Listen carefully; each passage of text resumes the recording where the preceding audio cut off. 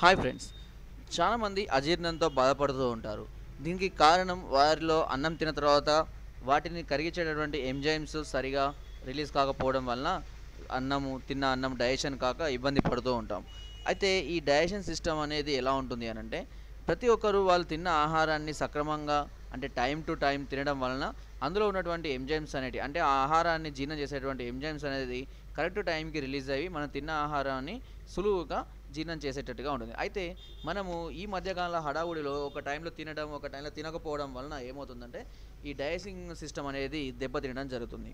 అయితే దానివల్ల మనకు అజీర్ణం అనేది ఏది తిన్నా అరగకపోవడము సరైన సమయంలో మనం కనుక ఆహారం తీసుకోకపోతే ఆ ఎంజైమ్స్ అనేటి రిలీజ్ అయ్యి మన శరీరాన్ని అంటే మన కడుపును కొరికేయడం అనేది జరుగుతూ ఉంటుంది.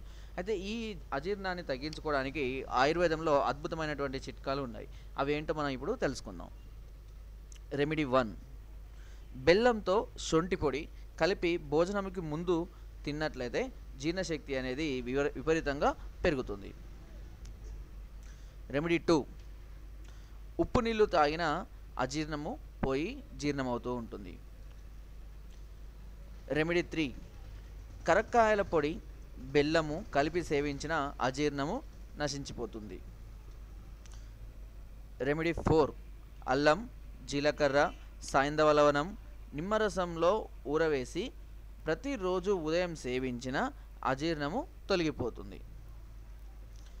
రెమెడీ ఫైవ్ సాయంధవ లవణము అల్లము సమానముగా కలుపుకొని ఉదయం సాయంత్రము మూడు గ్రాములు భోజనముకు ముందు తీసుకున్నట్లయితే అన్ని రకాల అజీర్ణ రోగములు తగ్గిపోతాయి.